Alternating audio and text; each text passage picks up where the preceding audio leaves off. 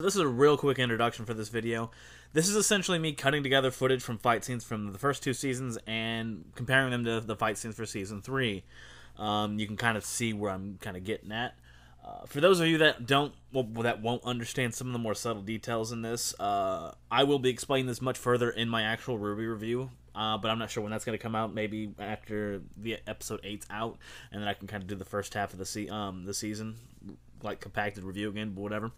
Um, but no, that's what it is. It's just going to keep cutting back and forth between the two, and I think this gets across my point as quickly as it possibly can, without needing too many words to actually describe what's going on, because you can tell there is there is a visible, tangible difference between the two. So and whatever. Uh, so. Now, thanks for watching. Hope you enjoy, and um, I will see you very soon for the actual RWBY review depending if I get into it or not. Go, go!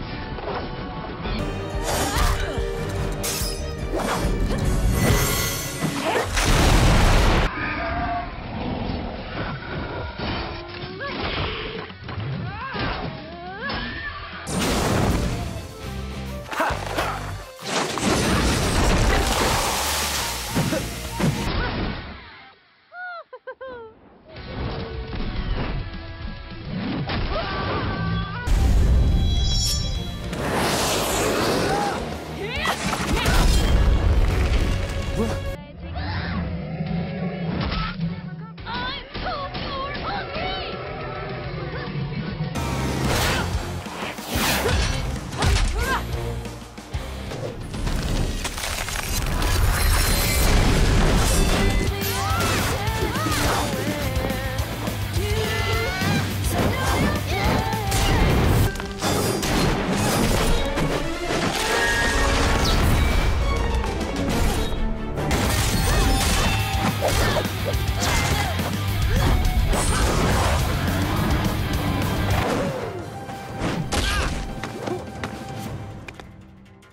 Leave her alone. Hector, we're in lockdown mode.